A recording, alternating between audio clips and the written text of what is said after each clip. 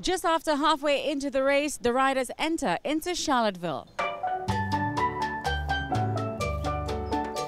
Located on the northeastern tip of Tobago on Man-O-War Bay, Charlotteville boasts a deep-water harbor and is the heart of the island's fishing industry.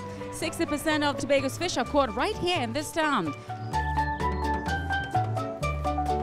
Charlotteville is a peaceful spot for visitors who enjoy a slower pace.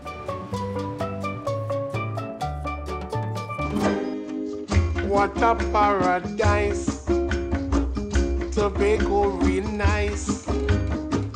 In a Castara We always come together.